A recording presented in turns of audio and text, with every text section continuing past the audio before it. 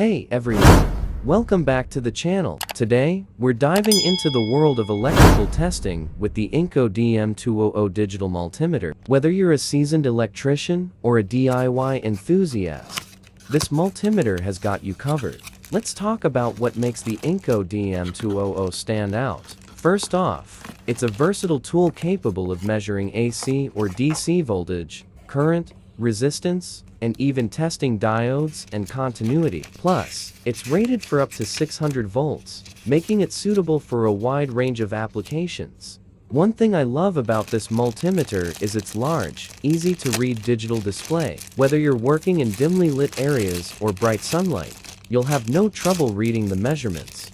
Navigating through the different functions is a breeze, thanks to the clearly labeled dial and intuitive buttons. Plus, the built-in auto-ranging feature saves you time by automatically selecting the appropriate measurement range. I've been using the Ingco DM200 for a while now, and it's become an essential tool in my toolkit. Whether I'm troubleshooting electrical issues around the house or working on my car, this multimeter has never let me down. Price 9KD, around 1,620 Philippine pesos.